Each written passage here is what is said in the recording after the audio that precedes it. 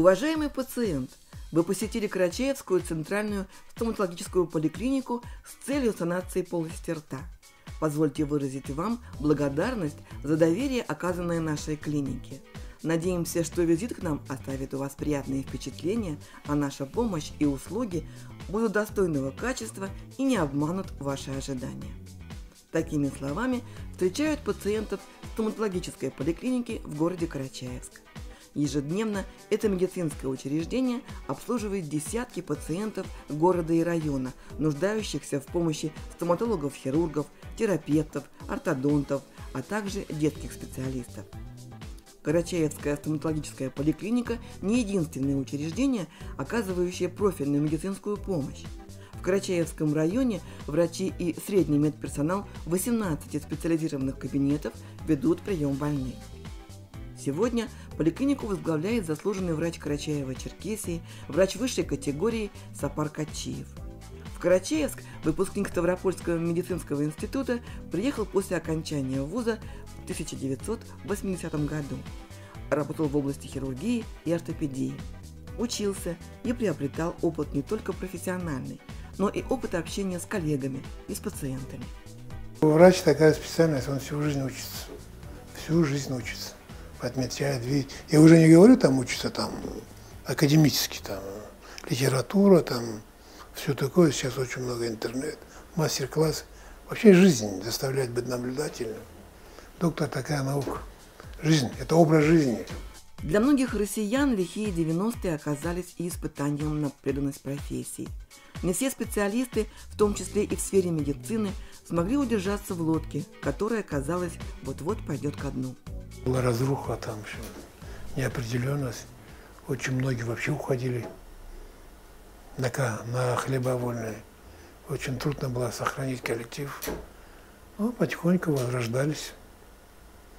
Уговаривал возвращаться возвращались там. Потихоньку, потихоньку восстановились заново. Подтянул своих старых друзей, ремонт сделали, кабинет открыли. Коллектив у нас прекрасный. И все не дадут мне э, покривить душой. Все знают, что наш главный врач очень строг и справедлив в то же время.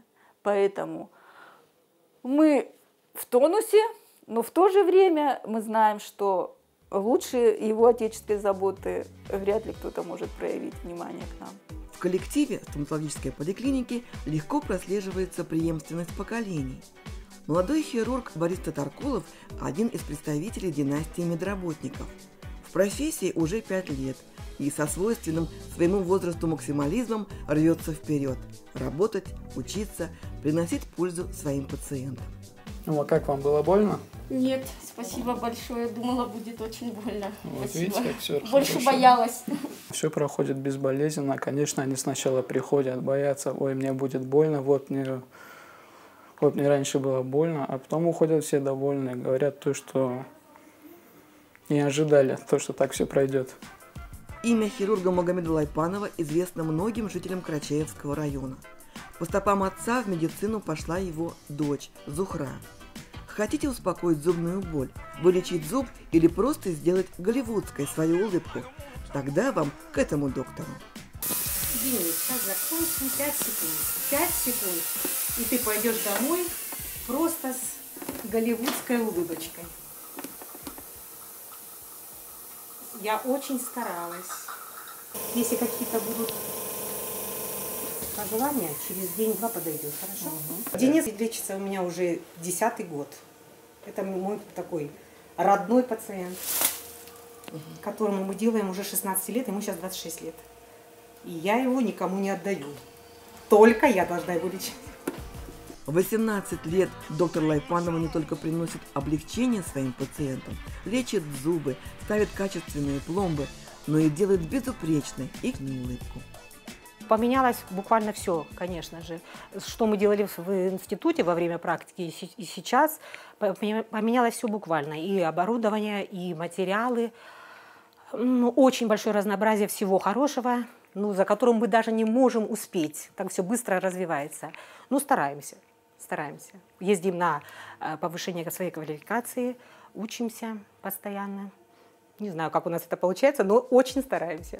Стоматология давно не ограничивается лечением зубов. Сегодня в ней встречается все больше специализированных услуг, удовлетворяющих разным запросам пациентов. Выпускник Бакинского медицинского университета Осман Каркмазов, стоматолог-ортопед, специализируется на восстановлении и протезировании зубов. Он же занимается снятием слепков для последующего изготовления зубным техникам всех необходимых конструкций. Детская стоматология – это отдельное направление во всей стоматологии. Маленькие пациенты требуют к себе особенного внимания и подхода – все процессы в молодом организме протекают совершенно по-иному, чем у взрослого человека. И это стоит брать во внимание, в том числе и при лечении зубов. Для лечения детей есть особая методика, по которой работают врачи-стоматологи. Используются специализированные материалы, лекарства и инструменты, которые подходят для лечения малышей. Но главную роль играет психологический аспект в общении врача-стоматолога с маленьким пациентом – Хороший врач-стоматолог всегда найдет нужный подход к ребенку, чтобы посещение стоматологического кабинета не было травмой. Отрадно то, что молодое поколение немножечко изменило акценты в отношении к своему здоровью. Это касается и лечения, а, даст Бог, и профилактики именно зубов. И потихонечку это отношение прививается к детям, что очень радует. Потому что есть очень многие молодые родители, которые уже э, ни со слезами, ни с боем, ни в экстренных случаях приводят, буквально затаскивают орущих малышей в поликлинику, а приводят их тогда, когда могут просто ознакомить их с тем, что такое посещение стоматолога – что такое лечение зубиков, к чему что-то может привести. И в принципе, если есть в этом необходимость, ничего страшного в этом нет. Это самое главное. Надо, чтобы э, ну, хотя бы детишки знали, что здесь стараются им помочь. И это не, не место, где только больно делают и заставляют плакать. Современное здравоохранение шагнуло далеко вперед. Но сегодня многие представительницы прекрасного пола в первую очередь готовы потратить свои накопления в косметологических кабинетах, прибегая к услугам порой сомнительных специалистов, нежели обратиться к врачам-стоматологам и привести в порядок свое здоровье.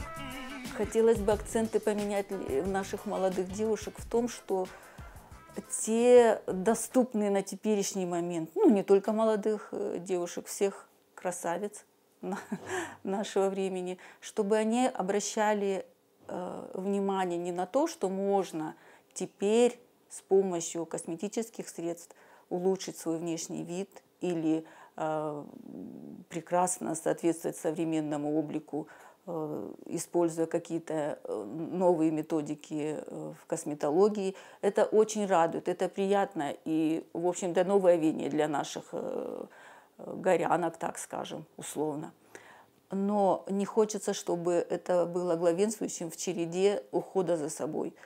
В первую очередь, самое главное – это отношение к здоровью, в первую очередь, еще раз повторяю. Поэтому, девушки, миленькие, женщины, приведите в порядок свой организм в плане здоровья. Это важнее, чем косметические средства. И внутреннее здоровье, оно всегда отразится сияющей кожей, прекрасными зубками – и всем обликом, который будет прекрасен для вас, даже если вы ну, не потратите больших средств, усилий для того, чтобы выглядеть. Обращайте внимание на здоровье. Это важно. Врач Аза Султановна Нуздинова – специалист с более чем 30-летним стажем работы в стоматологической службе. Через ее заботливые руки проходили не просто сотни пациентов, а целые поколения семей, от дедушек и бабушек до их правнуков – Доктор Узденова за Институт семейного врача. В ее кабинете получают квалифицированную помощь и молодые девушки, которые стоят на пороге начала семейной жизни. За них Аза Султановна переживает по-матерински. Появление ребенка на свет, долгожданное, ожидаемое, оно зачастую сопровождалось потерей одного, двух э, зубов – это как закон. А как ты хотела? А это сейчас, это, в общем-то, не правило. Поэтому, пожалуйста, в первую очередь, самое первое, когда вы собираетесь выходить замуж, оздоровитесь, пожалуйста, приведите род в порядок. И тогда и беременность, и роды, они будут с наименьшими потерями для вас проходить. Ухаживайте за собой во всех смыслах. И наши э, на теперешний момент, теперешние средства ухода, они, конечно, отличаются от того, что имелось место в лечении у ваших мам. На сегодняшний момент э, наличие совершенно разной группы анестетиков позволяет производить совершенно безболезненно манипуляции и э, женщинам, находящимся в состоянии беременности. То есть те анестетики, которые мы теперь можем применить, они совершенно безвредны. И опасения беспочвенные э, девушек, что нельзя вылечить зубики во время беременности. Но желательно было бы, чтобы вы были готовы к этому до состояния вынашивания плода. Имейте в виду, что э, здоровые зубы, очень правильное ведение беременности в плане оздоровления зубов, они очень влияют на состояние плода – она очень влияет на формирование э, зубочелюстной системы э, будущего ребенка. Поэтому имейте в виду для себя, что залог здорового ребенка – это и ваша непосредственная тяга к здоровому образу жизни, к здоровью своего организма. И если вы будете соблюдать эти нормы для себя, то вы будете уверены в том, что вы обеспечиваете и здоровье своего малыша. Немногие люди догадываются о том, что профилактика болезней зубов важна не только для их красоты.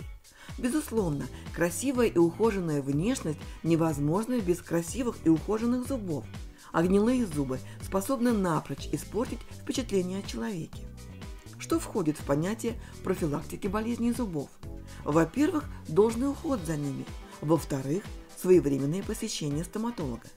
К сожалению, э, то, что мы сейчас наблюдаем, э, как бы статистика, соотношение, по которой мы работаем, это леченные, удаленные зубы, она оставляет желать лучше. Но надо к этому стремиться. И одни мы в своем стремлении улучшить эту, эти показатели ничего не сделаем. И если население, люди, которые к нам обращаются, не будут вовремя приходить, не будут вовремя лечить, не будут заниматься профилактикой, без профилактики, без правильного подхода, э, наши возможности уже в отношении лечения зубов, в отношении э, восстановления дефектов зубов – они, конечно, имеют место, но все равно в основе всего это профилактика.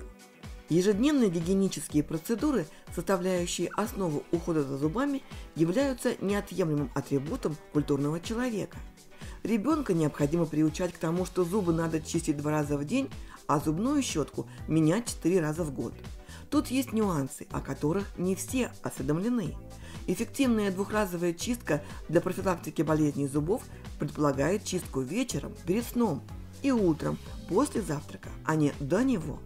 Смена зубной щетки также важна. В противном случае из предмета гигиены она может стать рассадником инфекции. Очень часто спрашивают, а какой пастой? Вот я вас уверяю, важнее, в общем-то, методика чистки, то есть тщательная, неравнодушная, очищение всех зубных поверхностей. Э, нет приоритета в отношении того, что, допустим, наличие электрич... электрических щеток, что они э, панацея от того, чтобы зубки были чистые, тоже неправильно. Все индивидуально. Надо советоваться со своим стоматологом, что для ваших зубиков э, удобнее, лучше. Но, тем не менее, никто не отменял ежедневную чистку, никто не отменял профилактическое посещение стоматолога раз в полгода, это как априори. Надо это делать. И э, если вы вовремя придете к стоматологу, он вовремя заметит ваши проблемы, которые вы можете не увидеть. Профилактическое посещение стоматолога необходимо осуществлять один раз в полгода при полном отсутствии каких-либо жалоб. При появлении первых же признаков патологии – боли, выпадения пломбы – стоматологу необходимо обращаться незамедлительно. Такая профилактика болезней зубов позволит обнаружить и своевременно устранить заболевание на ранней стадии, когда вред еще незначителен. Кроме того, подобный режим посещения стоматолога намного выгоднее с экономической точки зрения, учитывая разницу в цене за небольшую пломбу или широкомасштабное протезирование. Профилактическая профессиональная чистка зубов. Эта процедура не очень распространена. Она не предполагает патологических изменений в полости зуба. Это просто очень тщательная а, гигиена, которую тоже можно проводить один раз в год или в полгода. Она не предполагает агрессивных каких-то воздействий, но она предусматривает очень тщательное а, очищение всех поверхностей зуба и заодно оздоровление слизистой оболочки а, вокруг зуба. О своей профессии, о ее новых веяниях Аза Узденова может говорить бесконечно. Переживает доктор лишь о том, что за всем не успевает, а ей очень хочется идти в ногу с мировыми методами лечения. Врач по призванию, потомственный медик, Аза Султановна очень любит свой родной коллектив и бесконечно благодарна судьбе за то, что в ее жизни сложилось все именно так. Как бы мне получился взгляд изнутри на эту специальность. И она буквально вошла в мое сердце. Я впоследствии даже не, не представляла для себя другого выбора профессии.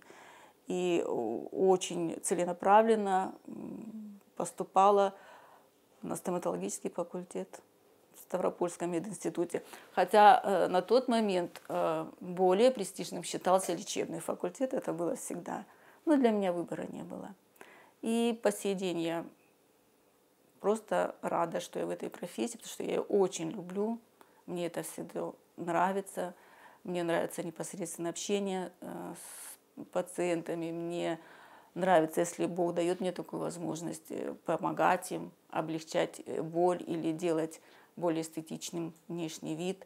Меня это радует, мне это приносит радость, и я, я счастлива в этом смысле. Если человек в своей жизни минует очень многих специалистов в здравоохранении, скорее всего, стоматолога он не минует. Но это реальность нашего дня. И если человек приходит со своей проблемой к нам – очень хочется ему помочь так, чтобы он это сам ощутил, а еще раз говорю, восторг в том, что ты сам видишь. Преимущество маленьких городов заключается в том, что здесь невозможно быть тем, кем ты не являешься на самом деле.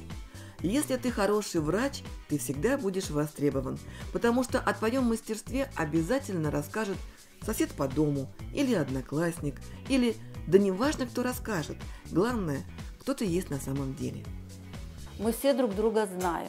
Мы знаем друг друга из поколения в поколение.